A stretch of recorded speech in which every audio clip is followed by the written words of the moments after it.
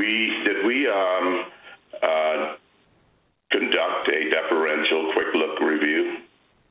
Well, the, uh, Mr. Chief Justice, the, the amateurism rules that Thank the you for eligibility. By the way. I, I'm sorry, but I'm sure you would be terrific at that, Justice Thomas. uh, let me just say, There's no, the- there's no opening, Mr. Waxman. I, there's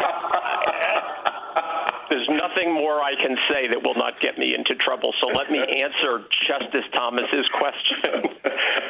the the rules that were challenged in Board of